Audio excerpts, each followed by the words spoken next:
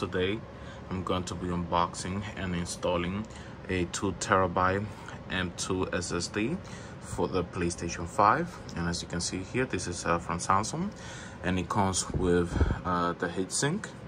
So as you can see here this is a 2 terabyte and that's uh, how it looks. It's a blistering speed and let's speak 3 this is the 990 Pro with heatsink uh, PCIe 4.0 M2 SSD read speed uh, 7450 megabytes.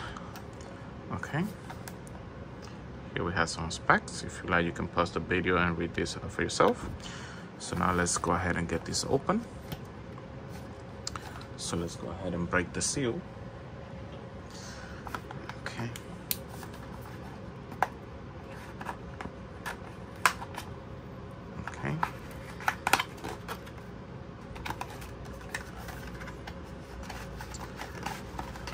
okay so here we have some documents.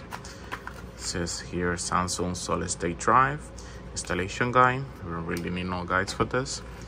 Okay so this is uh, the ssd this is how it looks. Okay it looks really nice. And the design is small. Okay. So you can see here a close-up. Okay there you go okay so now what we need to do is remove uh, the plates from the PlayStation. And as you can see here this is the side that has uh, the disc. So on the Spider-Man edition is the one that is all black on the side and it has the Spider-Man logo. So I have already uh, pre-remove everything so it can be easier for the video. So I'm just gonna remove this. Okay and then after this this is where we have the slot for the SSD so we're going to be removing uh, that cover by removing the screw. Okay then we're going to lift the plate. Okay. And then here we have another screw that I already uh, got it loose and now we're going to be installing the SSD okay. So now let's go ahead and install it okay guys so this is how basically it's going to look. As you can see right here. So we have successfully installed the 2 terabyte SSD uh, for the new uh, PlayStation 5 limited edition.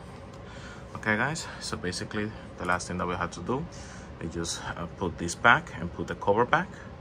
And then uh, everything has been successfully installed. Okay guys as you can see there we've already put the metal plate back on its place. So now just have to put the covers back on again. Okay guys so covers are back on the plates.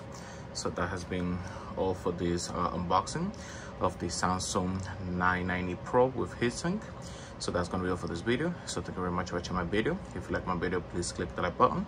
You can subscribe to my channel to get more content. If you have any question please leave it down below. Thank you for watching my video. Bye bye